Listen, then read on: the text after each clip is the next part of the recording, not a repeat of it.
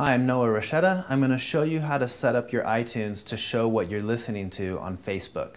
Sometimes you find a great song in iTunes and you want all your friends to know what you're listening to. When you're browsing music in iTunes and you come across a song that you want to share on Facebook, if you're listening to this song or previewing the song, you can tap this arrow, the box with an arrow, scroll to Facebook, and compose the message of what you're sharing, what you're listening to, you can share that on Facebook. On the desktop version of iTunes, the song that you want to share, you click this icon and click Share on Facebook.